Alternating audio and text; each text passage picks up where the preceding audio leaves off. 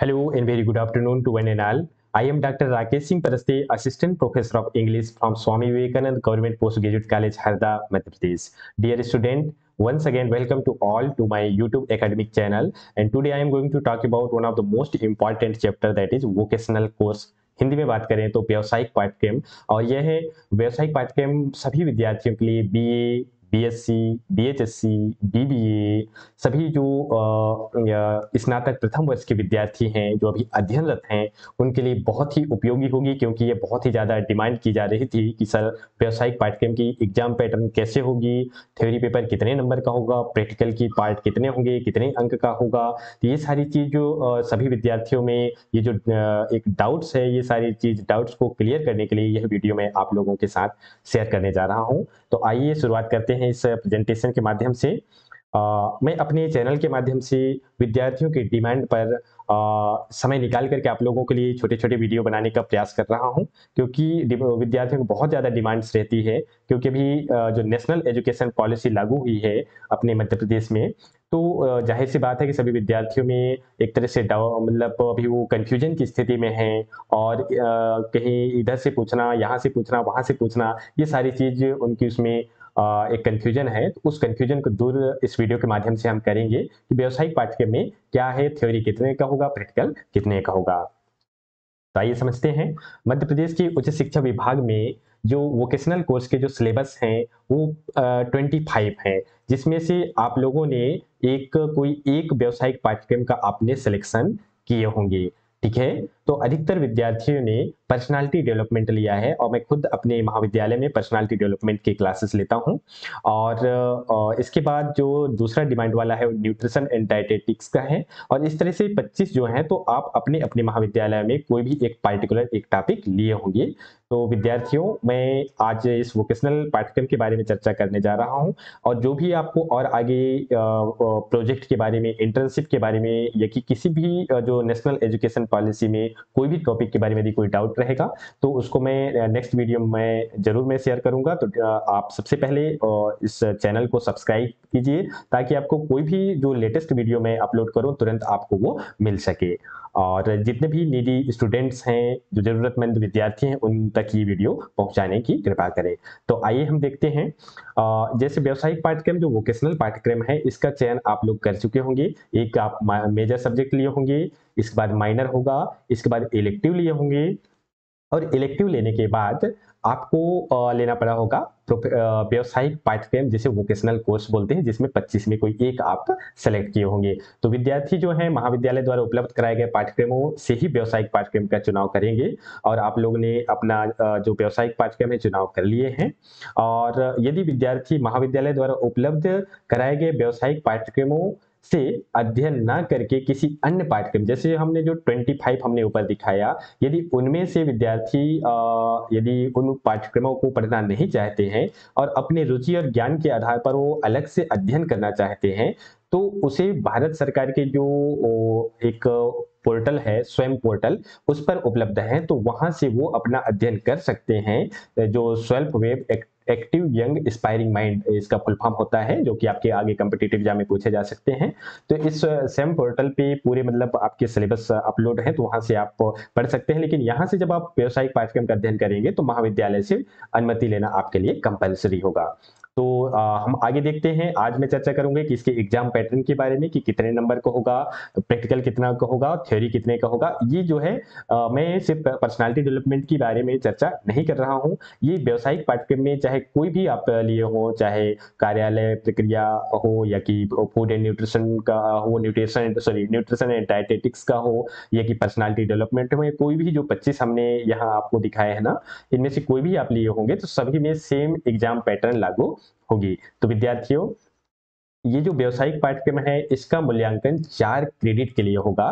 तो चार क्रेडिट के लिए होगा तो यहाँ दो जो टू क्रेडिट होगा that is for your theory paper जो कि यूनिवर्सिटी एग्ज़ाम से होगी। आपके जो जो संबंधित जो विश्वविद्यालय है, वहाँ से दो क्रेडिट के लिए होंगे और दो क्रेडिट आपके प्रैक्टिकल पाठ्यक्रम के लिए होंगे। अब आगे कैसे होते हैं, मैं आपको सीधे बताना चाहूँगा कि इनके जो मूल्यांकन होगी असेसमेंट ये समझते हैं पहले। सबसे पहले उच्च शिक्षा विभाग ने ये डिक्लेयर कर दिए हैं कि जो थ्योरी पेपर होगा, सबसे पहले समझ लीजिए थ्योरी पेपर होगा सैद्धांतिक पेपर होगा, वो विश्वविद्यालय के ऊपर छोड़ दिए हैं कि जो भी आपका संबंधित विश्वविद्यालय है, वो किस प्रकार से उसका एग्ज़ाम पैटर्न लेंगे। ठीक है? तो जो सौ नंबर का थ्योरी पेपर होगा दो क्रेडिट के लिए वो यूनिवर्सिटी द्वारा तैयार की गई क्वेश्चन जो ट्रेडिशनल हमारा जो पेपर्स होता है उसके हिसाब से वो आ, आ, आपका थ्योरी पार्ट होगा जो हंड्रेड मार्क्स का होगा।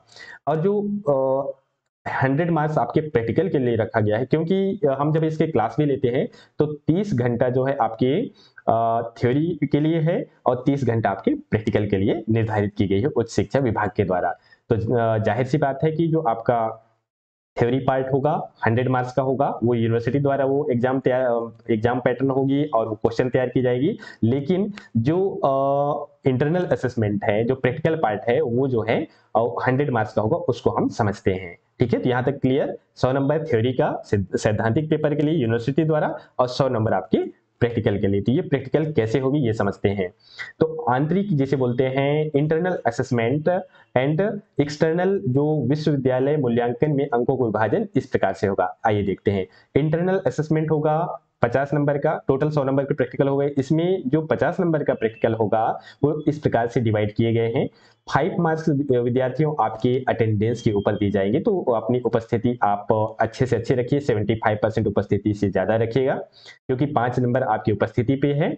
और जो 30 अंक है, आपके प्रायोगिक रिकॉर्ड के लिए है। जो आप प्रैक्टिकल रिकॉर्ड तैयार करेंगे, उसके लिए आपको 30 अंक प्रदान किए जाएँगे। एंड नेक्स्ट जो पंद्रह मार्क्स हैं, ये पंद्रह मार्क्स जो आप प्रायोगिक रिकॉर्ड तैयार करेंगे, जो भी आप तैयार किए हैं, ठीक है, उसको किस तरह से how you have to present okay किस तरह से उसको आप प्रस्तुत करेंगे बाइबल मतलब इंटरनल में होगा तो उसमें पंद्रह नंबर उसके दिए, इस तरह से पचास नंबर का होगा।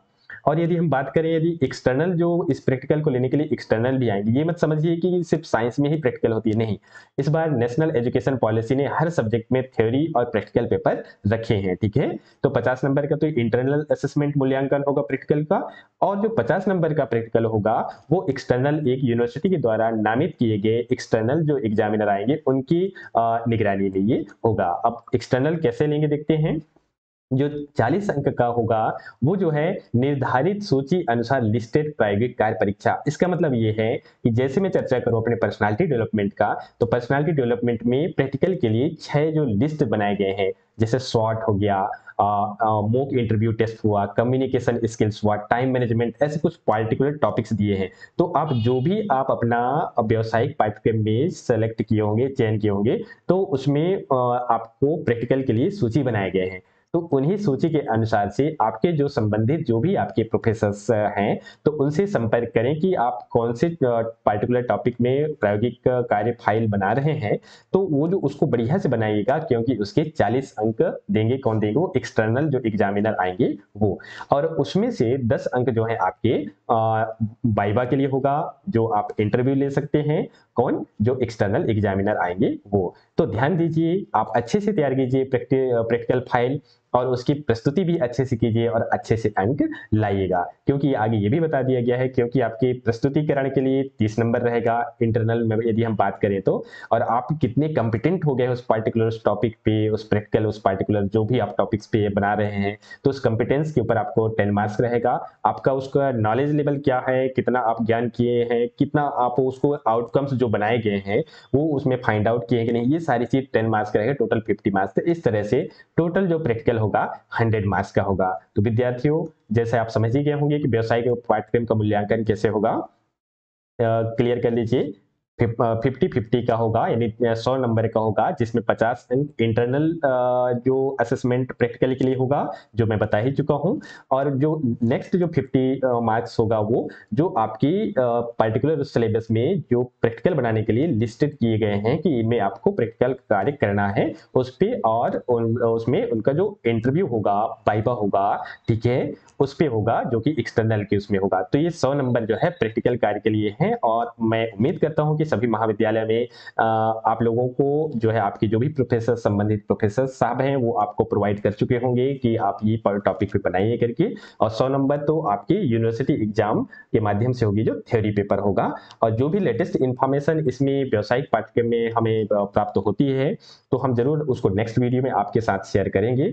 और विद्यार्थियों से मैं यही चाहूँगा, यदि किसी भी प्रकार की यदि आपके पास कोई डाउट है तो कमेंट बॉक्स में लिखिए। और इस चैनल को सब्सक्राइब कीजिए, ताकि मैं अधिक से अधिक आपके लिए वीडियो बना सकूँ, क्योंकि अभी स्नातक द्वितीय वर्ष और तृतीय वर्ष के लिए हमारे बरकतुल्ला विश्वविद्यालय भोपाल ने टाइम टेबल जारी कर दिए हैं। तो आप लोग तैयारी कीजिए, आप लोग अभी प्रथम वर्ष में हैं तो आप लोगों की एग्ज़ाम जैसे इनके एग्ज़ाम कंप्लीट होगा तो यथा समय में आपकी टाइम टेबल डिक्लेयर कर दी जाएगी।